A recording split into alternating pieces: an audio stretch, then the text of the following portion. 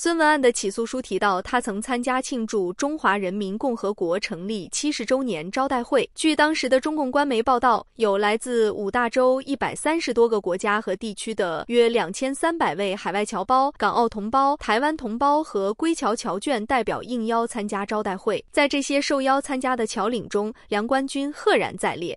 梁冠军这个流氓拿着美国护照的所谓的华侨侨领，还有被召回去的所谓的海外的中国的代表的企业家，这些人都是什么身份？拿着美国护照的人，他们为什么回北京去了？为什么召开这侨领大会？你给共产党干活，你给共产党合作，早晚一天找到你门上，只是时间的问题。这个抓的在法拉盛这个孙海英，孙海英和梁冠军，还有那周什么周什么瑞那个王八蛋，这都是一伙的，什么福建什么华人协会的，都会被抓。